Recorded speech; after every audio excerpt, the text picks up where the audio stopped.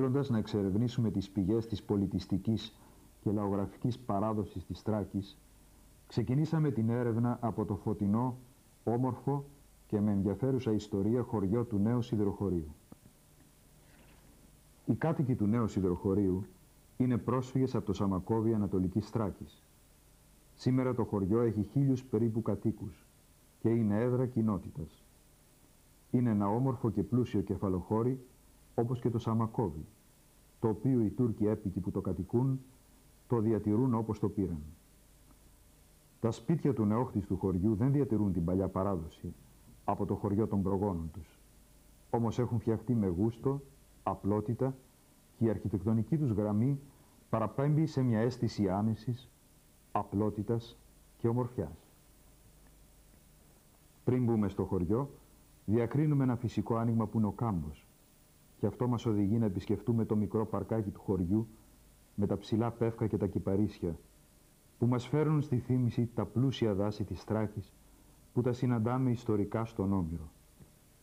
Συγκεκριμένα, ο Οδυσσέας επιστρέφοντας από την Τρία για την Ιθάκη πέρασε από την παραλία του Ισμάρου, την οποία κυρίευσε. Στη συνέχεια εκδιώχθηκε αφού έχασε 62 συντρόφους και επισκέφτηκε τον ιερέα του Απόλλωνα Μάρονα, ο οποίος κατοικούσε σε δασόδη περιοχή. Αυτά αναφέρονται στο κεφάλαιο Ιώτα της Οδύσσιας. Οι γυναίκες του σημερινού χωριού κυρία Μαντή και Φιτιλίδου, γεμάτες αναμνήσεις με την αγνή καθάρια ψυχή τους, μας τραγουδούν με πίκρα και καημό των Τούρκων τη σκληρή καρδιά, που πελεκούσαν και κατέστρεφαν τη φυσική ομορφιά για να πάρουν την ξυλία που χρειάζονταν για το εμπόριο. Στον τόπο μας τα δέντρα πελεκούσαν, στον τόπο μας τα δέντρα πελεκούσαν, κάνοντας καμιά γερενοπούλα μου, κάνοντας καμιάς καμιά για τις κυρίες, κάνοντας καμιάς καμιά για τις κυρίες, για τις εμόρφες για ρενοπούλα μου, για τις Φτάνουμε στην κεντρική πλατεία του χωριού. Με συγκίνηση αντικρίζουμε την αναμνηστική επιγραφή με το ιερό των 18 Μαρτίων από το Σαμακόβι. Κάθε πρώτη Κυριακή του Σεπτέμβρη τιμάται η μνήμη των 18 μαρτύρων. Λίγα λόγια από την ιστορία θα μας βοηθήσουν να εκτιμήσουμε το γεγονός καλύτερα. Το καλοκαίρι του 1913 άρχισε ο πόλεμος Ελλήνων και Σέρβων κατά των Βουλγάρων. Οι Βούλγαροι αναγκάζονται να εγκαταλείψουν την Ανατολική Θράκη που ανακαταλαμβάνουν οι Τούρκοι. Αποβιβάζουν υπηκό στο λιμάνι της Νιάδας και εγκαθίστανται στο Σαμάκοβο. Το σχέδιο των νεότουρκων ήταν να εξοντώσουν όλους τους αλλοεθνείς και να αναβιώσουν την τουρκική αυτοκρατορία. Το καλοκαίρι του 1914 ξεσπάει ο πρώτος παγκόσμιος πόλεμος. Η Τουρκία πήγε με τις κεντρικές δυνάμεις. Κηρύσσεται στρατιωτικός νόμος. Ο τότε Τούρκος διοικητής, ο Θηριώδης Χουσέιν Χαμντής, που γεννήθηκε στην Κομωτινή, επέβαλε υποχρεωτική συνδρομή στο Σαμακόβι, Τρουλιά και Άγιο Στέφανο. Όσοι αρνήθηκαν, μαστιγώθηκαν και φυλακίστηκαν. Έτσι ο Χαμντή, με συνεχή πρόστιμα και βασανιστήρια, εκτελούσε τα μεγαλόπνα σχέδιά του, ξεζουμίζοντας τους δύστιχους ομοεθνείς μας. Στο βουνό Γκράντος, το αυτοκίνητο του νομάρχη Ανδριανοπόλεως, Χατζή Αντίλ, μπλοκαρίστηκε από βούλγαρους κομιτατζίδες. Συλλήψεις και βασανισμοί δεν έφεραν την ομολογία που ζητούσε. Στην αναφορά του στον νομάρχη, απέδωσε το φόνος στους ομογενείς της περιφέρειας Σαμακοβίου και χαρακτήριζε το φόνος σαν πολιτική επαναστατική πράξη. Στις 31 Αυγούστου εκδόθηκε διάταγμα για εκπατρισμό της περιφερείας Σαμακοβίου. Συνελήφθηκαν οι περισσότεροι άντρες. Την Παρασκευή 4 Σεπτεμβρίου άρχισαν να φορτώνουν τα πράγματά τους στα αμάξια οι γυναίκες.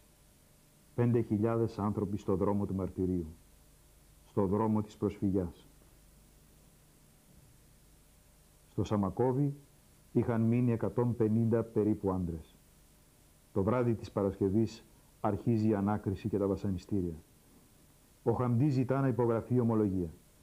18 από τους κρατούμενους δεν υπέγραψαν με πρώτο το δήμαρχο και ακίδη Περικλή. Ο Χαμντή δίνει διαταγή να θανατωθούν. στη θέση Σύρβου Ματρινιές, μια μισή ώρα από το Σαμακόβι, λίγο πιο ψηλά από την πλατεία Γκράντος, οδήγησαν τους 18.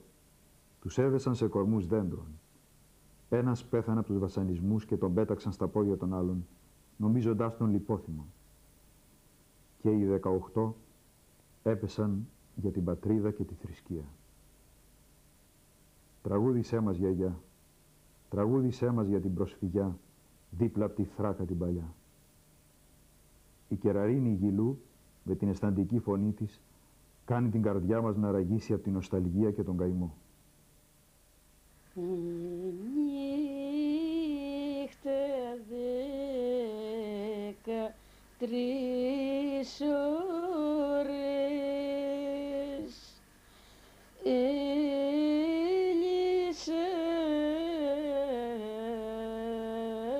μαργέλυσε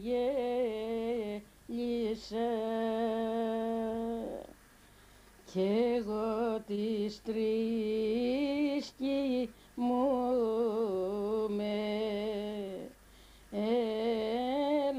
ελολμάς γιουζελολμάς κι εγώ τις Στην περιοχή του Σαμάκοβου υπήρχαν αρχαίοι ελληνικοί οικισμοί και κυρίως στην περιοχή του Μικρού Έμμου. Όταν κάποιοι τεχνίτες Ιδύρου που πέρασαν από την περιοχή ανακάλυψαν ότι η άμμος του ποταμού Θολοπόταμου περιείχε σίδηρο, εγκαταστάθηκαν εκεί και δημιούργησαν έτσι τα πρώτα εργαστήρια σιδήρου γύρω στο 1500. Μετά την άλωση της Κωνσταντινούπολεως εξελίχθηκαν σε εργοστάσια σιδήρου που λέγονταν οντζάκια. Ο Σουλτάνος τους έδωσε προνόμια γιατί ήθελε το σίδηρο για τον πόλεμο και για το εμπόριο. Από το 1700 μέχρι το 1800 μετά Χριστόν ήταν η χρυσή εποχή για το Σαμακόβι. Οι ιδιοκτήτες των σιδηρορυχείων είχαν το καφτάνι, ένα είδος οικόσιμου που κρατούσαν στο χέρι σαν προνομιούχοι της κοινότητας και έδειχνε πως απολάμβαναν προνόμια από το Σουλτάνο, γι' αυτό λεγόντουσαν καφτακλίδες. Μετά το 1800 άρχισε να παράγεται φτηνότερο σίδερο στην Ευρώπη και τα εργοστάσια δεν μπορούσαν να ακολουθήσουν το ρυθμό ανάπτυξης των ευρωπαϊκών. Και έτσι έπεσαν σε παρακμή, γύρω στα 1840. Τότε οι Σαμακοβίτες άρχισαν να ασχολούνται με την παραγωγή κάρβουνου, γιατί η περιοχή ήταν γεμάτη από δάση. Στέλνανε το κάρβουνο από την Ιάδα, ένα λιμάνι 25 χιλιόμετρα από το Σαμακόβι. Το 1915 οι κάτοικοι της περιοχής του Σαμακοβίου μετακινήθηκαν βία από τους Νεότουρκους σε άλλα μέρη της Ανατολικής Θράκης και της Μικράς Ασίας. Ο λεγόμενος διωγμός του 1915, με τον οποίο ο ελληνισμός θρύνησε χιλιάδες θύματα, όπως η γενοκτονία των Ποντίων και των Αρμενίων. Με την πτώση των Νεότουρκων στα 1919, οι κάτοικοι του Σαμακοβίου γύρω στους 2.000 επιστρέφουν στα σπίτια τους. Προσπαθούν να αναστηλώσουν τα ερήπια, αλλά η μοίρα ανελαίτη δεν τους αφήνει να σταθούν στα πόδια τους. Αφού το 1922 ήρθε ο μεγάλος ξεριζωμός, όποτε μεταφέρθηκαν στην Καβάλα από το λιμάνι της Νιάδας. Οι περισσότεροι ήρθαν στην περιοχή Κομωτινής και έχτισαν το νέο χωριό που με μόχθο έφτασε σήμερα να είναι ένα από τα πιο όμορφα και πλούσια χωριά της Ροδόθης. Θα αφήσουν με σπαραγμό και πόνο ψυχής τους σπαρμένους κάμπους, που ο κόπος και η θέλησή τους τα ροζιασμένα χέρια τους είχαν μετατρέψει μοχθώντας νυχτοήμερα σε παράδεισο. Θα παρνηθούν τους ιερούς τάφους, τα γιασμένα κόκαλα γονιών και προγόνων. Βουρκώνουν τα μάτια, συσπώνται τα χείλη από λιγμό, φουσκώνουν στήθια και υψώνουν νικετευτικά τα χέρια στον ουράνιο πατέρα. Βαρύς ο σταυρός αλήθεια. Ζητούν ψυχική δύναμη, ζητούν θεία επίβλεψη, και αποφασίζουν να πιούν το πικρό ποτήρι της προσφυγιάς και του ξεριζωμού. Θα φύγω,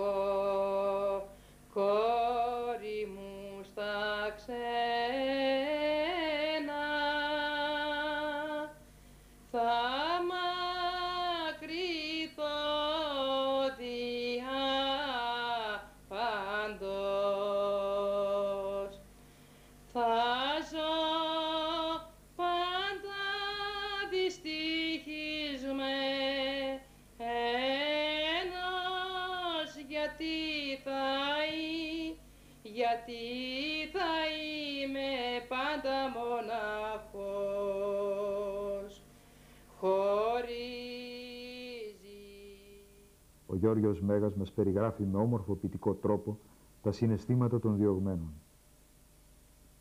Ο ουρανός είναι βαρύς, μελαγχολικός από τον ανθρώπινο πόνο και στάζει μια βροχή που παγώνει τις καρδιές. Οι σταγόνες της βροχής κατρακυλούν στα πρόσωπα για να τα δροσίσουν από τον ψυχικό πυρετό.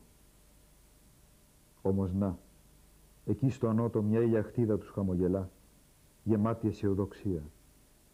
Είναι σταλμένη από την πονεμένη Ελλάδα που θλίβεται για το ξεσπίτωμα των παιδιών της. Μια νέα ζωή περιμένει τους διωγμένους.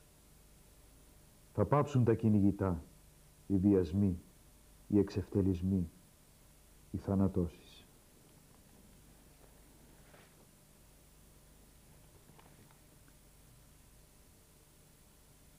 Οι κάτοικοι του Σαμακοβίου, μετά το δραματικό ξεριζωμό του 1922, μπόρεσαν και διέσωσαν τα ιερά σύμβολα της φυλής μας. Τους ανεπίμητους θησαυρούς του Ιερού Ναού του Αγίου Θεοδόρου του Στρατιλάτη. Μετά από περιπλάνηση και περιπέτεια έξι περίπου μηνών, κατόρθωσαν να διασώσουν την εικόνα του Αγίου, το Ιερό Ευαγγέλιο, τα Άγια Σκεύη, τα Λάβαρα, τα Εξαπτέρυγα, 32 εικόνες του ναού και το μικρότερο πολυέλαιο, γιατί μόνον αυτός ήταν δυνατόν να μεταφερθεί. Επίσης, πρέπει να αναφέρουμε ότι ο Ιερός Ναός του Αγίου Θεοδόρου του Στρατιλάτη στο σιδηροχώρι της Ανατολικής Θράκης, σημερινή πόλη Ντεμίρκεϊ, που βρίσκεται 25 χιλιόμετρα νότια από τα βουλγαρικά σύνορα και άλλα τόσα δυτικά από την παραλία της Μαύρης Θάλασσας, του Εύξηνου Πόντου, αποτελούσε πάνω από χίλια χρόνια το φωτεινό φάρο της χριστιανικής και εθνικής μας πίστης διαδραμάτισε πρωταρχικό ρόλο στη διατήρηση των ιερών και των οσίων και μεταλαμπάδευσε την πολιτιστική κληρονομιά, τα ήθη, τα έθιμα και γενικά τη φλόγα και τον άσβεστο πόθο για τη συνέχεια των παραδόσεών μας. Σήμερα από όλα τα σημεία του ορίζοντα και από μεγάλη απόσταση ατενίζουμε τον τρούλο με το ιερό σύμβολο, το σταυρό του Αγίου Θεοδόρου, για να δηλώνει εκεί την Ελλάδα με το σύμβολο του χριστιανισμού και να δικαιώνει παράλληλα τους Αγίους Πατέρες μας που ονόμασαν την Εκκλησία κυβωτό της σωτηρίας μας. Όπως μας περιγράφει ο ευεργέτης του χωριού και κύριος αναστηλωτής του Ιερού Ναού Ιωακήμ Δέλιος μέσα στην Εκκλησία πάντα θα νιώθουμε όλοι ίσοι προς ίσον. Το εγώ μας πάντα θα παραμερίζεται ή μάλλον θα εκμηδενίζεται. Όλοι μας θα προσευχόμαστε για όλους. Εκεί θα σφυριλατείται η αγάπη προς τον πλησίον μας. Θα εξαγνίζεται πραγματικά η ψυχή και το σώμα μας. Εκεί θα προσπαθούμε να καταστήλουμε τις αδυναμίες και τα πάθη μας, βοηθούμενοι από το κήρυγμα του Κυρίου. Θα αντλούμε θάρρος, πίστη και υπομονή για να αντιμετωπίσουμε όλους τους κατακαιρούς κινδύνους που απειλούν την κοινωνία και το έθνος μας γενικότερα. Την εποχή των αρχαίων προγόνων μας, η χειραψία ήταν ένδειξη ανθρωπιάς. Άκουσε τα χέρια συνανθρωπέ μου πως χτυπούν στο ρυθμό της αγάπης. Πιάσε τα και θα καταλάβεις καλύτερα. Δεν είναι αδιανά. Κρατούν αγάπη. Δεν είσαι μονάχος στο σκοτάδι αυτού του κόσμου.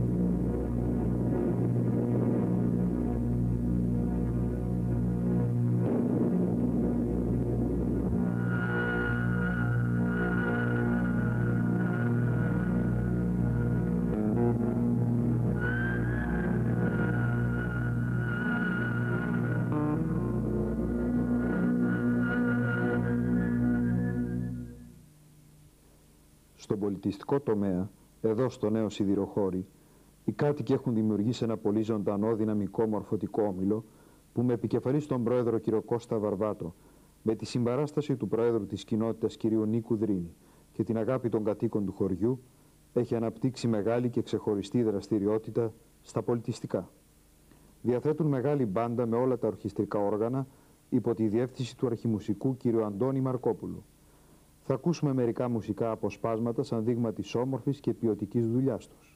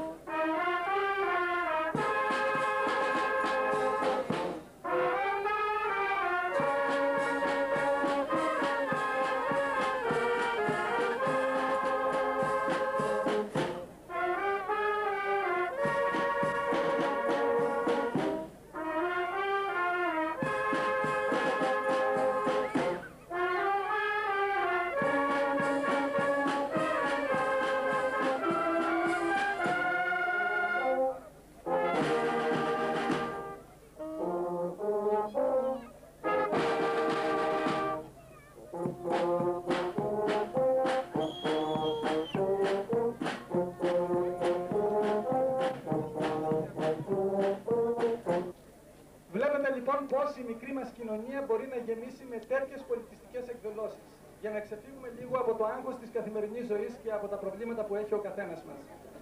Θα συνεχίσουμε λοιπόν με μια πολύ γνωστή μελωδία από τον τηλεοπτικό Πάνθυρα. Big Panther σε διασκευή και ενοργάνωση του κυρίου Αντώνη Μαρκόπουλου.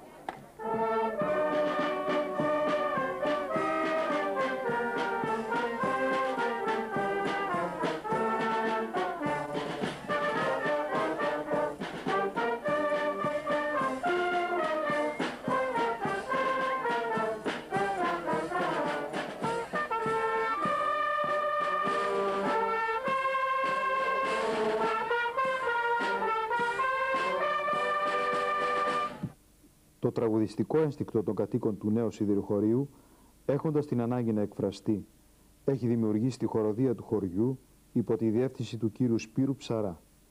Εδώ τους ακούμε σε δύο πολύ γνωστά τραγούδια του Σταύρου Ξαρχάκου και του Μάνου Χατζηδάκη. Θα ποτίσω με ένα δάκρυ μου αρμυρό τον καιρό. Πικρά καλοκαίρια έμαθα κοντά σου να περνώ. Νεκρά περιστέρια γέμισε η αυγή τον ουρανό. Θα γυρίσω λυπημένη Παναγιά. Έχει γεια. Μην κλαις, το μαράζι μάθε φυλακτό να μην κρεμάς. Να λες, δεν πειράζει. Θα έρθει άσπρη μέρα και για μας. Αυτό το υπέροχο τραγούδι του Σταύρου Ξαρχάκου σε ποίηση του Νίκου Γκάτσου θα ακούσουμε τώρα.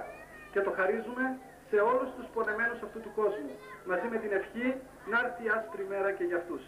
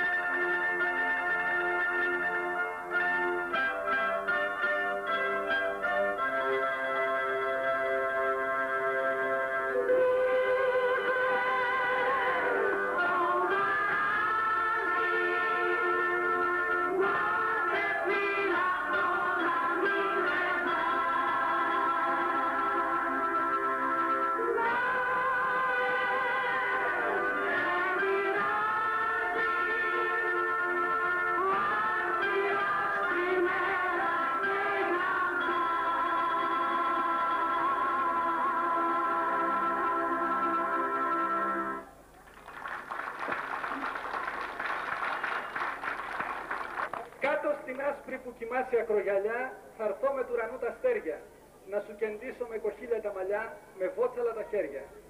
Απ' τη σκαρδιά στην ανθισμένη τη φωλιά θα στείλω κι άλλα περιστέρια να ανανουρίσουν το όνειρό σου με φιλιά του Μάη γαριφαλιά. Θαλασσοπούλια μου, θαλασσοπούλια μου, κοιμάται η πουλια μου, κοιμάται η πουλια μου. Και με, και με στην άσπρη που κοιμάσαι ακρογιαλιά θα έρθω με του ουρανού τα αστέρια να σου κεντήσω με κοχύλια τα μαλλιά, με βότσαλα τα χέρια. Θαλασσοπούλια μου λοιπόν, ένα τραγούδι με τη ζαχαρένια μουσική του Μάνου Χατζηδάκη και με τους ρομαντικούς στίχους του Νίκου Γκάτσου.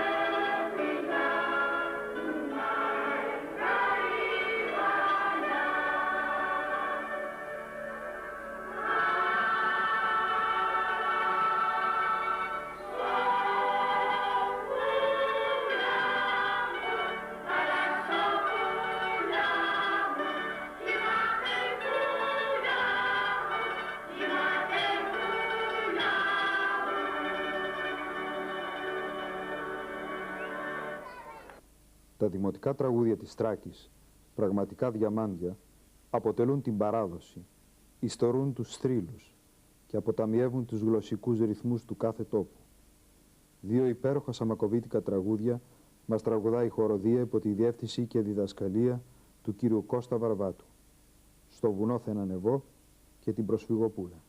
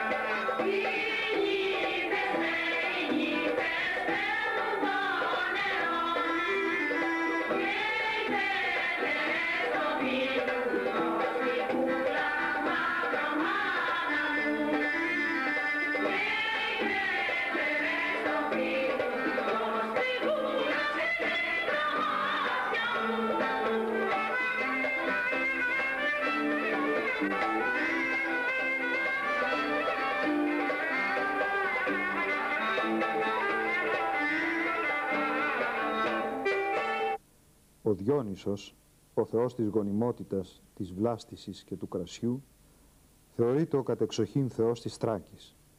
Φέρνει τη μαγική του φλόγα μέχρι την εποχή μας, εδώ, στο νέο σιδηροχώρι.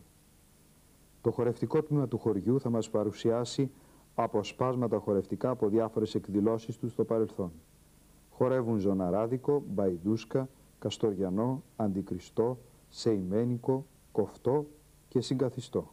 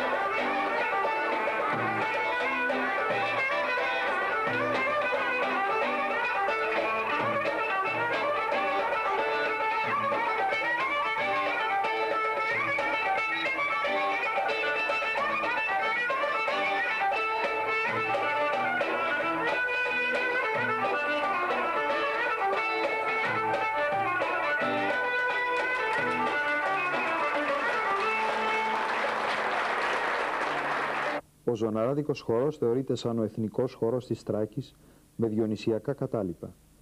Ας δούμε με πόση λεβεντιά το χορεύουν οι νέοι και οι νέες του χωριού.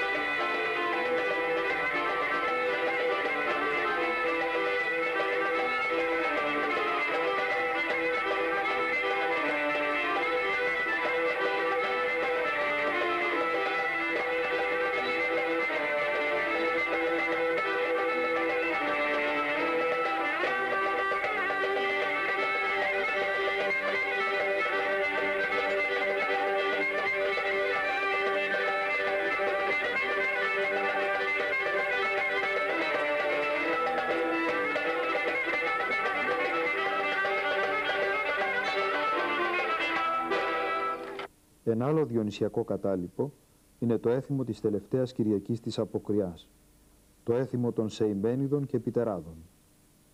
Οι Σεϊμένιδες είναι λεβεντόκορμοι φουστανελοφόροι εύζωνοι με κόκκινο φεσάκι με τσεμπέρι.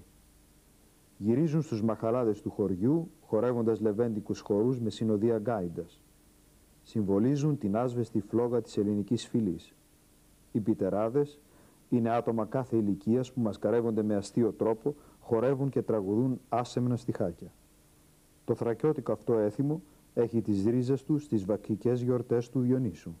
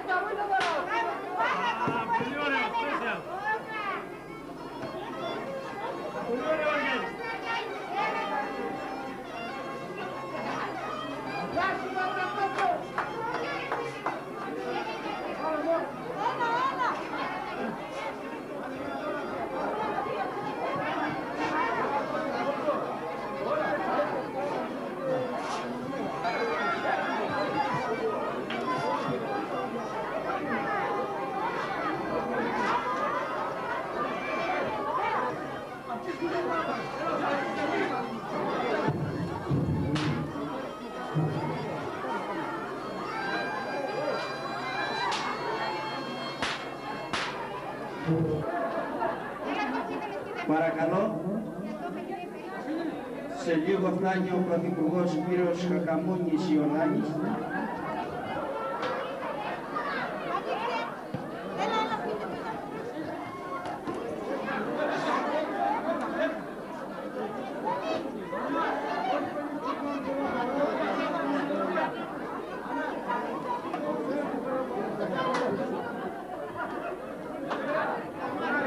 Para